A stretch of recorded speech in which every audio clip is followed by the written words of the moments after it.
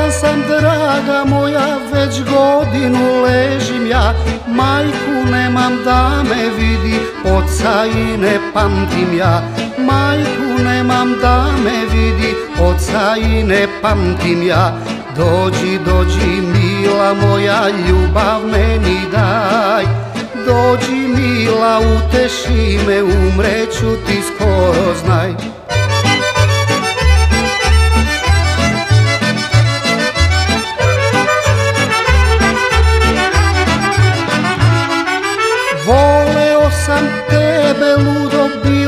si mi život moj Dođi mila uteši me meni život povrati.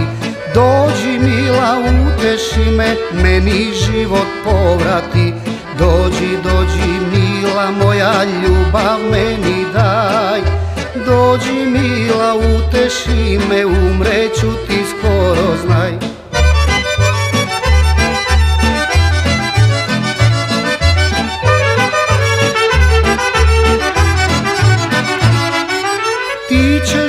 drugog da zavoliš mene nećeš videti. To će vreme sve da zbriše mene će zaboravit. To će vreme sve da zbriše mene će zaboravit. Dođi, dođi mila moja ljubav meni daj. Dođi mila uteši me umreću ti skoro znaj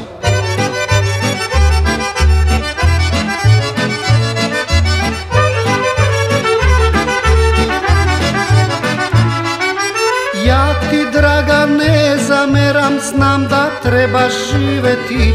Dođi makar sad još jednom, oprosti se sa mnom ti.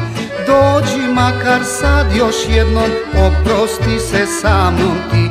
Dođi, dođi mila moja ljubav meni daj.